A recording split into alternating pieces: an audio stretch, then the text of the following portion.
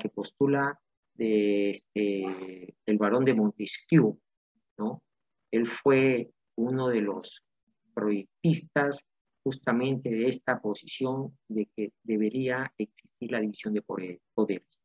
Continuamos, joven. Cuando nosotros hablamos hace unos minutos, nos referíamos a la modernización de la gestión del Estado, ¿verdad? Entonces, cuando decimos la modernización del Estado, ahí sale la ley. Sale la ley en el 2002, ¿no?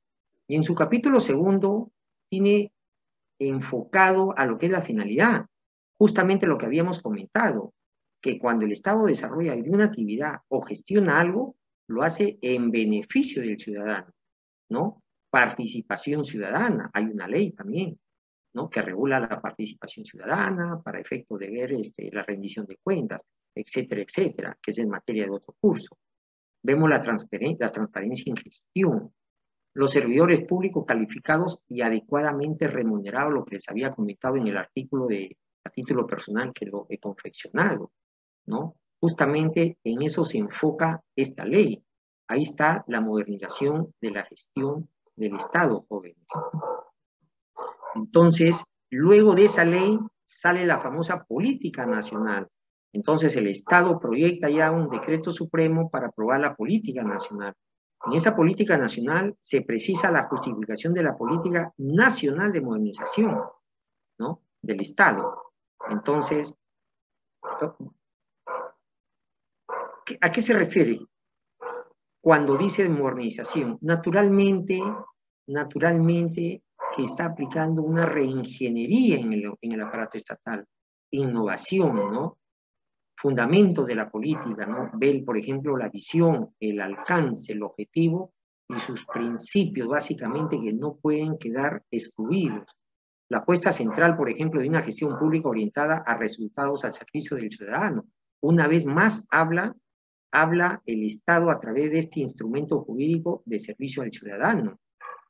Lineamientos para la modernización de la gestión pública. También saca sus instructivos donde precisa los lineamientos. Se enfoca en el rol del ente rector del sistema de negociación de la gestión pública, ¿no? Y quién es la Secretaría de Gestión Pública. Entonces, todo está concatenado, jóvenes, independientemente o retóricamente que tenga que precisarse algunos temas, básicamente tienen que estar enfocados en servicio al ciudadano. Cuando nosotros revisamos esa norma, vamos a encontrar básicamente dos cosas. Vamos a encontrar que esta norma habla de los cinco pilares, ¿verdad? Centrales de la política de modernización de la gestión pública y a su vez se refiere a los tres ejes transversales de la política. Es decir, qué es lo que debe cumplirse y sobre la base de qué debe sostenerse, ¿no? Los pilares que deben cumplirse básicamente, ¿no? Sosteniéndose en esos tres ejes. Gobierno abierto, gobierno abierto. No podemos limitar el derecho, por eso es que cuando uno acude a cualquier entidad, uno dice y vengo en alguno de sus escritos, otro dicen y acudo, otro dice y manifiesto, ¿no? Otro dice en el ejercicio irrestricto de mi derecho. Obviamente que los derechos no se restringen, en absoluto se pueden restringir, salvo excepciones que ya las conocemos, que están en la Constitución también. Pero no se puede restringir un derecho, no se puede limitar, privilegiar a un grupo y a otro no, porque en todo caso estaremos contraviniendo, ¿no? Eh, alguna posición que ya nosotros conocemos, que camina por todo el mundo, transita a lo que llamamos siempre el derecho tuyo termina donde piensa el derecho de los demás. Gobierno abierto. Gobierno electrónico, ya lo sabemos. Hay tantas instituciones, el brevete ahora ya lo saca, lo tiene, ¿no? Últimamente han estado algunas entidades cobrando cierto importe para obtener una copia a nivel electrónico, el DNI electrónico, ¿verdad? Y muchas cosas que se hacen a nivel electrónico, ¿no? Y articulación interinstitucional. Salió una norma, también un decreto supremo, eh, que habla sobre la famosa interoperabilidad, ¿no? Y esa interoperabilidad es justamente, ¿no? para efecto de que las entidades que tengan articulación electrónica con otra entidad ya no deben estarle pidiendo cierta documentación al usuario. Ejemplo, en alguna oportunidad me tocó ver, por, por decir, ¿no? Que una madre lactante tenía que hacer su cobro que le corresponde de acuerdo a ley, pero en el Seguro Social le insistían presentar su, físicamente su DNI. Entonces se le dijo, pues no, si usted ya tiene el DNI o usted como entidad está en la interoperabilidad, usted simplemente haga la consulta. Lo mismo en el caso de los abogados, se puede hacer la consulta a nivel electrónico, donde corresponde la colegiatura, pero no, el señor insistía que le dé el, el DNI electrónico, física, perdón, el DNI físico. Lo mismo sucede que el DNI jóvenes, ¿no? En la gestión pública, el DNI, tenemos una jurisprudencia a nivel nacional, donde el Tribunal Constitucional se ha pronunciado que el DNI es un, es un documento de identidad, no debe ser cuestionado si ya ha caducado, ha vencido. Simplemente es un documento para identidad. Entonces, nadie puede ponerle ¿no? objeciones a decir su DNI ya venció y vaya usted a tramitar, si no, no lo atiendo. Y eso sucede en el banco. Yo he tenido que hacer defensa y, se me ha escuchado, ¿no? En oportunidad en el Banco de la Nación. Entonces, así por consiguiente, hay muchas entidades que reclaman el DNI físico. No deben reclamar, porque hay un decreto supremo también que ha salido. Hay un decreto supremo que habla sobre esos temas. Bien, los pilares. El primer pilar que habla sobre políticas públicas, ¿no? Planes estratégicos y operativos, justamente lo que ya habíamos comentado, ¿no? Que están en cualquier entidad, en un ministerio, en el Palacio de Gobierno, en el Parlamento, en una unidad ejecutora, etcétera, etcétera. El presupuesto para resultados, ni qué darle vuelta, ni qué darle vuelta, ¿no?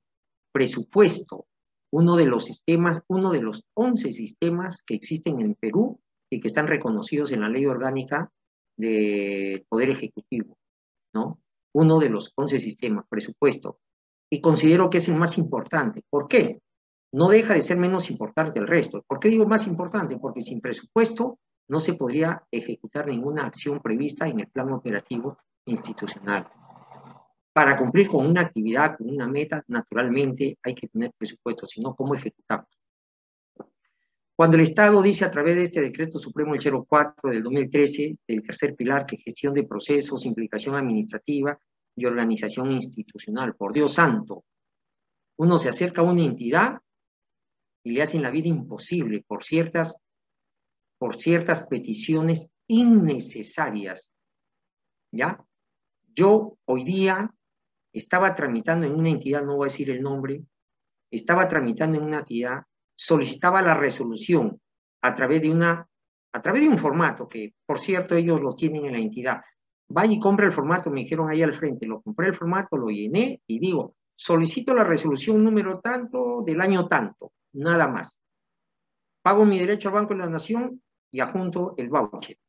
Entonces, este señor agarra y me dice, usted tiene que presentar la copia de una resolución. Le digo, por Dios santo, le digo, si yo estoy solicitando una resolución, ¿para qué? ¿Cuál es la gracia de tener que presentar una copia de resolución?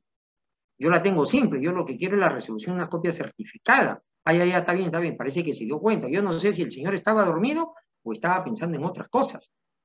Pero eso sucede, jóvenes. Y cuando uno no conoce derecho, a uno definitivamente lo pasean. Si eso le dicen a un abogado, imagínese a, una persona que no tiene estudios, no conoce, lo único que hace es agachar, la cabeza y decir, bueno, señor, disculpe, entonces voy a hacerlo. Entonces, por Dios santo, ¿no? El cuarto pilar, servicio civil meritocrático. Definitivamente, ¿no? Esto es de amplia información. Es un tema de amplia información. Sabemos por, por experiencia propia, y eso lo saben la mayor parte de ustedes, ¿verdad? Saben la mayor parte de, ustedes que definitivamente no se está cumpliendo la meritocracia, ¿no? Se exceden en pedir documentación, ¿no? El otro día leía una convocatoria CAS, se requiere abogado con amplia experiencia, con cinco años de servicio, con maestría y un montón de más de peticiones para pagarle cuánto? 3 mil soles. ¿Ustedes creen que ese abogado va a trabajar en Lima por 3 mil soles? No lo, no lo creo. Con amplia experiencia, no lo creo. Lo dudo, lo dudo. Y si es a nivel de provincia en el interior del país, en una oportunidad bien, en una ciudad bien pequeña también de todo el país, ¿no? Requerimos abogados por 1.200 soles. Y piden abogados con amplia experiencia. ¿Cómo va a ir un abogado desde Lima a una provincia o a un distrito donde se requiere abogado de amplia experiencia para que gane 1.200? Por Dios ese abogado jamás iría, ¿no? Quinto pilar, sistema de información, seguimiento, monitoreo, evaluación y gestión del conocimiento. Este es otro tema muy amplio. Mucho se le reclama al Estado, mucho se le pide al Estado, naturalmente porque hay diferencias, ¿no? El Estado capacita a un grupo, pero no capacita al otro. Hay muchísimas diferencias pero yo considero a título personal, así como yo lo hago, de autocapacitarme, invertir mi dinero en ciertas universidades, centros de capacitación, institutos a nivel nacional o del extranjero, pero yo invierto mi dinero, porque si yo espero que el Estado me dé, bueno, de repente no me va a lo que yo quiero capacitarme. Esos son los cinco ejes, ¿no? O perdón, los cinco pilares y los tres ejes transversales, jóvenes. Bien, entrando a lo que es la nueva gestión pública. Hay quienes escriben sobre este tema ya, ¿no? Revisando algunas tesis, he encontrado inclusive, ¿no? Investigadores que hablan de esto. Dice, la pérdida de credibilidad del sector público como gestor del bienestar ciudadano viene acompañado de manifestaciones que exigen y obligan a que las instituciones públicas actúen aplicando principios de economía, eficiencia y eficacia. Jóvenes, si ustedes revisan revisan la suficiente norma, instrumentos jurídicos, instrumentos de gestión pública, van a encontrar estos términos, economía, eficiencia y eficacia. Pero ¿cuánto de ello lo cumplimos a cabalidad y a conciencia? Pregunta para cada uno de ustedes. Estas nuevas demandas, cada vez más importantes como consecuencia de la magnitud del déficit público en, en prácticamente la totalidad de países, hemos visto ya. Tuvieron en un primer, ¿no? Excepto pues este Singapur, que ya sabemos pues cómo resurgió Singapur después de 50 años cuando aplicó la pena de muerte, ¿no? Tuvieron en un primer momento un importante en los procesos de construcción de políticas públicas, pero en la actualidad no se circunscriben únicamente a la esfera política o ministerial, sino que se han ampliado a todas las actuaciones de la administración en sus diferentes órdenes territoriales. Es cierto, jóvenes. Ya hemos visto, ya hemos visto temas de corrupción, no solo en una ciudad, sino en gran parte del país. Así las administraciones estatales, autonómicas, como se dice en España, provinciales y locales, se ven envueltas en procesos de regeneración de cambio. Claro, en España les llaman hoy en día ciudades inteligentes. Cuando ustedes vayan a España se van a dar cuenta, van a ver, van a escuchar, van a compartir, ¿no? Ciudades inteligentes. Nuevos patrones de actuación y comportamiento comunes internacionalmente son los que han llevado a diseñar un sistema operativo público, una nueva filosofía de actuación, la famosa, la nueva gestión pública. Realizando además reestructuraciones internas encaminadas a eliminar la burocracia, la adopción de procesos más más racionales a una mayor autonomía en la gestión. Esto lo dice un investigador ya desde el 2007. O sea, no son cosas nuevas, jóvenes, ¿no? Hay cosas que ya los investigadores ya lo han precisado en sus trabajos. Entonces, cabe la oportunidad de entrar a, un proceso de reflexión. La gestión pública y la gobernanza, como se llama en España, ¿no? Eh, término inglés la gestión pública dice tiene que ver con una interpretación más instrumental y dinámica del objeto de estudio de la administración pública. Obviamente, obviamente la administración pública, mientras que por otro lado, la, la interpretación que proviene de la ciencia política y que busca conformar una interpretación del gobierno, cercana a una red de instituciones y nuevos actores políticos y sociales, donde el gobierno ya no es el único interlocutor, sino por el contrario, para tener una gran gobernanza requiere de los consensos, acuerdos, negociaciones. Es ahí donde vamos a hablar de la famosa gobernabilidad más adelante. Y coordinación con otros actores que están fuera del alcance del gobierno, pero que requieren de su apoyo, comprensión, legitimidad. ¿Qué están diciendo estos, estos investigadores en este caso? No un investigador mexicano, no un docente universitario, Sánchez González. Ya lo decía en 2002, ¿no? Se requiere de esos consensos, acuerdos y negociaciones, ¿no? Porque se busca el apoyo, comprensión, legitimidad. Y eso nos conlleva a hablar de la famosa palabra gobernabilidad. El gobierno actual, ¿no? Eh, pregona el famoso, el famoso gabinete de ancha base, un gobierno de ancha base, pero lo dice. Pero la pregunta es, ¿se está cumpliendo? No se está cumpliendo. De repente se está cumpliendo a media, ¿no? Los gobiernos requieren del apoyo particular, requieren de esa comprensión, pero si no la tienen, definitivamente no tienen ese apoyo, entonces no va a prosperar nada, joven en absoluto, porque ningún gobierno puede excluirse, ¿ya? Ni tampoco puede excluir de una participación social, porque vive en sociedad. el gobierno no es solo, vive en sociedad, comparte en sociedad, gobierna en sociedad, transmite en sociedad, legisla en sociedad. Entonces no, puede, no podemos decir ¿no? de que debe o que pretenda ¿no? divorciarse de esos apoyos del particular. Bien. Ahora, los nuevos paradigmas, por ejemplo, hay paradigmas emergentes en la gestión pública en América Latina. ¿Qué hemos investigado? ¿Qué sabemos nosotros cuando levantamos la mirada y ya no, ya no, ya no miramos al Perú, sino miramos más allá, ¿no? Miramos más allá. Ya sabemos que nosotros estamos a puerta de querer ingresar a, la OCDE, así como está en la cola Argentina y Brasil, ¿no? Ya nos ganó, ya, ya nos ganó este, Colombia. Colombia ingresó a la OCDE, ya vamos a hablar de ello, ¿no? Colombia ingresó el 2018, ¿verdad? ¿No? México ingresó el 94, Chile ingresó el 2010, ¿no? Colombia el 2018, y Perú, que intenta desde el 2002 ingresar y no logra ingresar. ¿Por qué? Porque seguramente no cumple con la recomendación. Ahí vamos a llegar también. ¿Qué decimos? La nueva administración pública paulatinamente orientó sus esfuerzos al análisis de qué? De las experiencias, metodologías, procedimientos, ¿no? ¿Verdad? Que desarrollan las empresas privadas tratando de, de reproducir en sus esquemas operativos y organizacionales. Claro, es que si ustedes van a la particular, la particular paga un bono por producción y el trabajo lo quiere eficiente y eficaz. Ahí no hay errores. Para ellos, como dicen, no hay errores. Si ustedes van a una minera, la minera se encarga de capacitar a su personal y antes de ingresar a trabajar, los capacita siete días en un hotel de cuatro o cinco estrellas, dándole un break de primer nivel.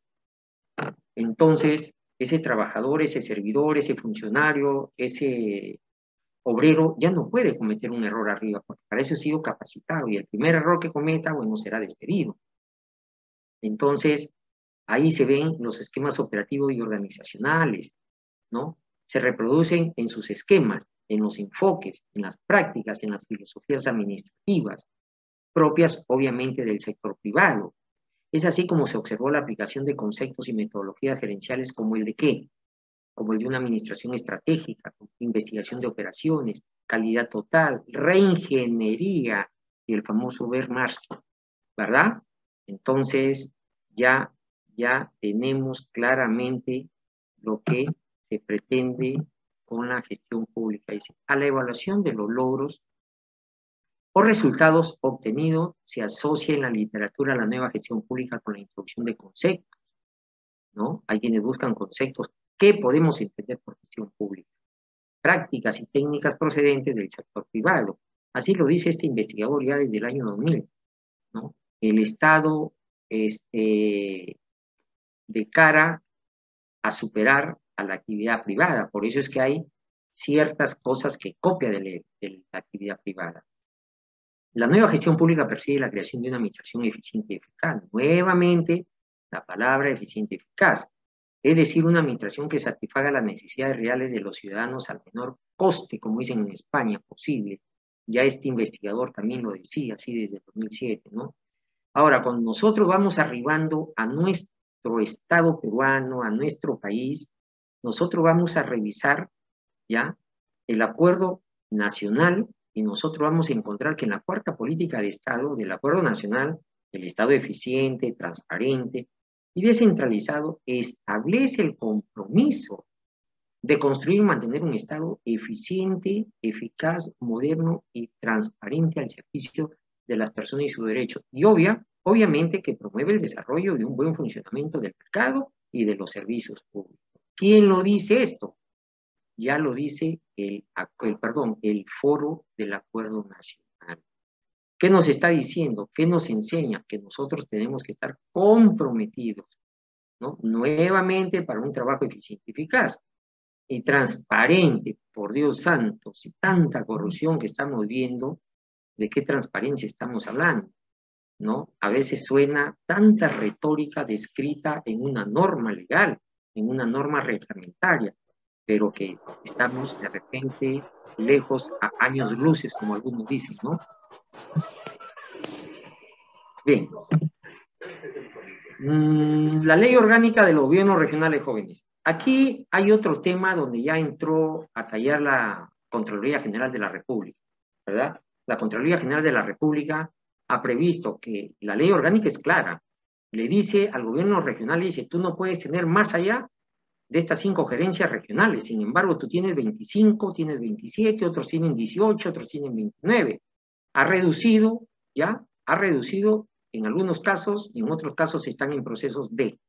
Por ejemplo, uno va a algún gobierno regional sin mencionar nombre y va a encontrar ya gerentes regionales en abundancia. Ahora, eh, la gerencia de desarrollo económico, desarrollo social, planeamiento, han subsumido, han, han, este, han este, prácticamente han absorbido ciertas gerencias que de acuerdo a la ley corresponde y ya les van a llamar direcciones regionales. Ya no serán gerencias, serán direcciones un tema bastante polémico estructuralmente hablando dentro de lo que es la estructura organizacional, porque en algún momento alguien hizo de repente lo que le dio la gana o por temas políticos. Para ampliar más esto, y por eso es que lo hice. Pero ya la Contraloría entró. Bien, esta es, este es la norma reglamentaria que habla sobre el tema de el sistema administrativo de modernización pública. Ahí está el reglamento que habla también sobre ese sistema de administración pública donde habla de crear valor, jóvenes, que ya hemos visto, ¿no? Esto también lo vimos en la diapositiva anterior. Muy bien. Estos sistemas administrativos que están previstos en la Ley Orgánica del Poder Ejecutivo, ¿cuáles son? Ahí los tenemos, ¿no? Ahí los tenemos. Gestión de recursos humanos, que ya sabemos, a nivel nacional, a cargo de servir abastecimiento que tiene que ver como ente rector, ¿quién? El OCE, el organismo supervisor de contrataciones del Estado.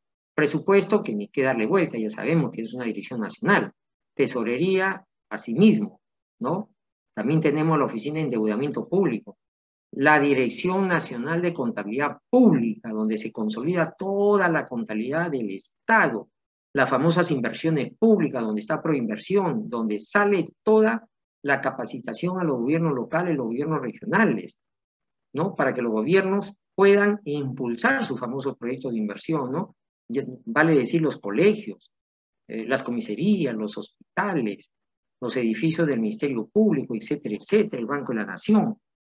El planeamiento estratégico que está previsto a nivel de lo que es el plan, que aquellos que hemos trabajado en ello conocemos, que hemos visto, conocemos, defensa jurídica del Estado, los famosos procuradores, que lamentable lo que ha sucedido con el procurador del Estado, ¿no?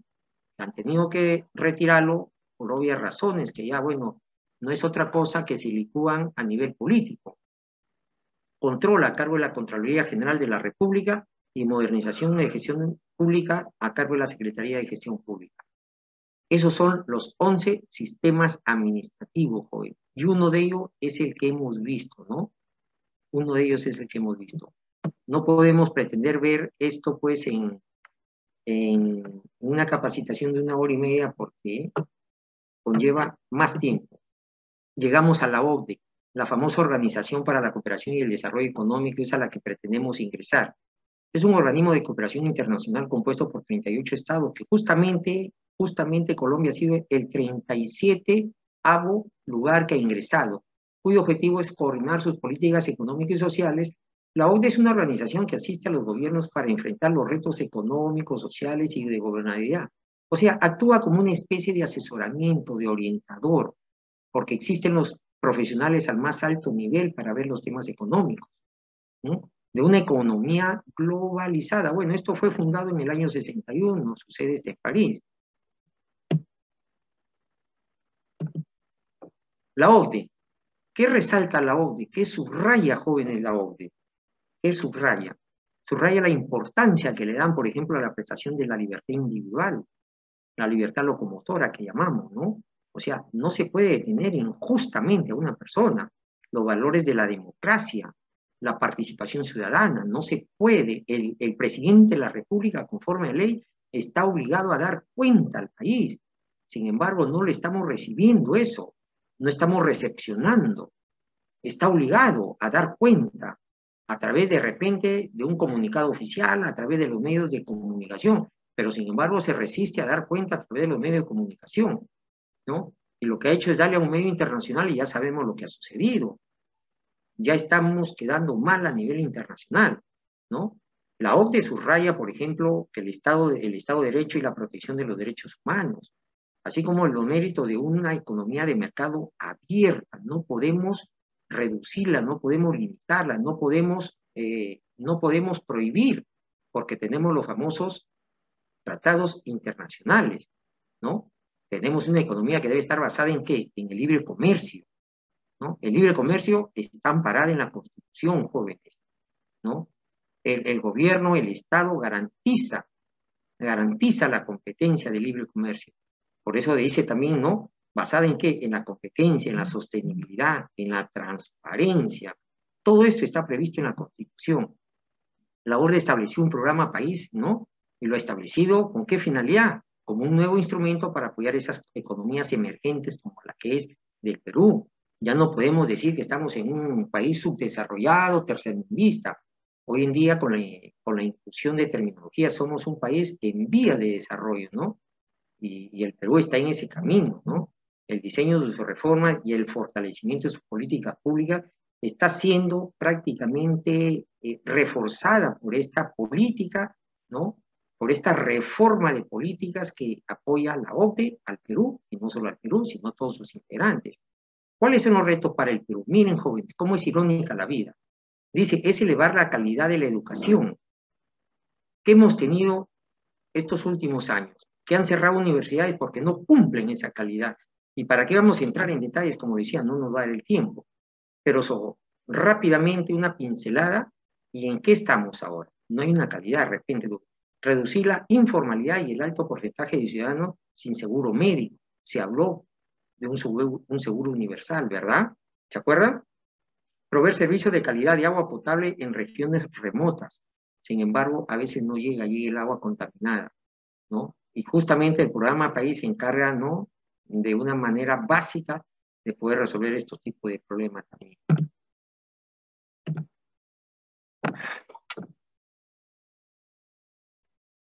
Bueno, ya hemos visto el, programa ¿no? de la acción a la inclusión social, que es un programa peruano con el apoyo de la OCDE, es decir, Perú ha decidido, el Perú, el Perú, es decir, el Perú ha decidido cuáles son las prioridades. La OCDE no le dice a Perú qué hacer, por si acaso, eso que quede bien claro. Algunos, algunas ideologías dicen que no debemos permitir que los extranjeros vengan y nos digan, no señor, pues es que no nos están ordenando, no nos dicen, simplemente si tienen ciertos parámetros, requisitos para poder incorporarnos a ese nivel de reformas políticas que nos conlleve a qué cosa? Que nos conlleve justamente al desarrollo, a ese nivel, ¿no? En el ámbito de buen gobierno se incluyen qué cosa? Estudios orientados a mejorar la eficacia del sector público, la coordinación entre niveles de gobierno. ¿Qué, los, ¿Qué es lo que sucede? Miren, yo he viajado por tantas ciudades del país, ¿qué es lo que encuentro? sin ir muy lejos, si ustedes van a, Tumbes, existe un mercado que sabrá Dios si se le puede llamar mercado, pero ustedes van a, otros lugares, ¿ya? Van a encontrar una maravilla de, de mercados. ¿Por qué? Porque hay una coordinación estrecha entre el gobierno eh, local y el regional. Entonces, uno pone el, terreno y el otro pone el dinero. Suman esfuerzos en beneficio de la población, pero existe el divorcio político.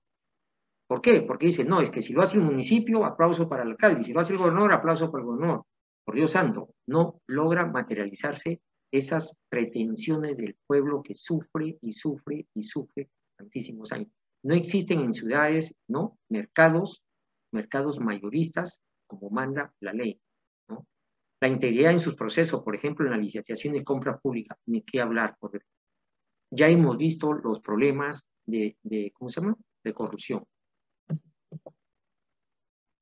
Bien, la nota de prensa jóvenes del Ministerio de Relaciones Exteriores da cuenta que el 25 de enero, ¿no? que justamente lo que hablaban, yo acabo de terminar aquí en Lima, justamente la conferencia que ha habido en el Congreso de la República, que me invitaron también, esta exposición de ha, intervenido la embajadora colombiana Adriana Mejía, ¿no? que bueno, no pudo estar directamente por el horario eh, diferente que existe en París, pero envió un video para su exposición ¿no?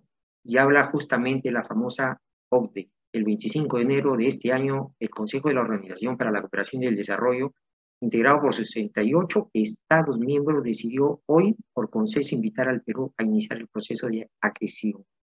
Es tan importante, es un orgullo para nosotros, debemos sentirnos orgullosos de estar participando a ese nivel.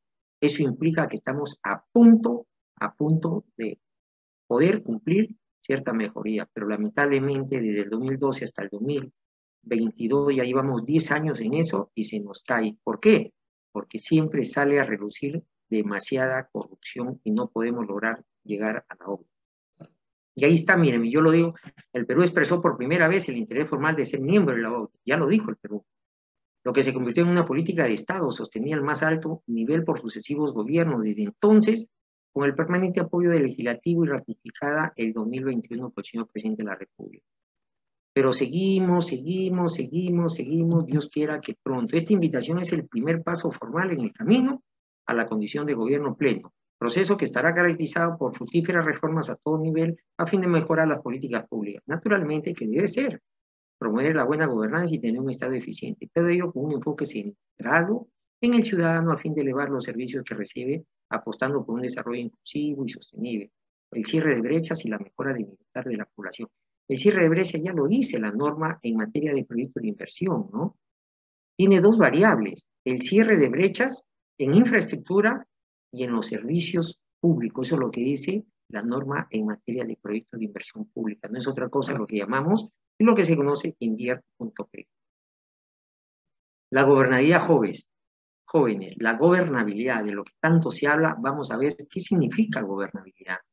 Miren, el Banco Mundial a veces tiene una posición, el Banco Interamericano de Desarrollo, el Fondo Monetario Internacional, etcétera, etcétera. Cuando nosotros nos remitimos esto, gobernabilidad dice, se refiere a la coordinación, colaboración y entendimiento entre los actores de las organizaciones políticas y la sociedad civil, ¿no? Que en conjunto posibilitan las acciones de un gobierno. Ojo, posibilitan las acciones, o sea, es decir, le permiten que ese gobierno cumpla, lo orientan, lo ayudan. Por tanto, la condición de gobernabilidad depende del equilibrio y de la capacidad de respuesta eficaz que tenga el sistema político sobre las demandas sociales. La pregunta es, ¿qué está teniendo este gobierno actual? ¿Qué tipo de equilibrio que no puede designar a un gabinete coherente, eh, de alto nivel, ¿no? Y qué capacidad de respuesta tiene, que no está respondiendo a las grandes demandas. ¿Hasta dónde vamos a llegar con esta incertidumbre? está generando lo que llamamos eh, jurídicamente la anarquía, un desorden de gobierno. Ya lo dijeron las cuatro personas más cercanas, ¿no? Ya lo dijo Bellido en su momento, ya lo dijo este, Mirta Vázquez en su momento, lo ha dicho el secretario Jaico, lo ha dicho el ministro del Interior, Guillén, las cuatro personas más cercanas que ya renunciaron han precisado y han coincidido en decir que existe el famoso gabinete en la sombra. No obstante, la gobernabilidad también depende de varios factores como qué, la aceptación y legitimidad del gobierno. La pregunta es, la mitad de perdón, la mitad de la ciudadanía no aceptaba esa legitimidad del gobierno, pero la otra mitad sí. Hay que aceptar esa. Hay que aceptar siempre y cuando esté orientada, ¿no? A que no ha existido ninguna vulneración del debido procedimiento. Pero bueno, irónicamente, hasta el organismo internacional salió a decir, algún organismo diciendo que no ha habido violación a ningún tipo de derecho. Tiene que ser eso conforme a ley. Situaciones económicas estables del país, no la tenemos, jóvenes.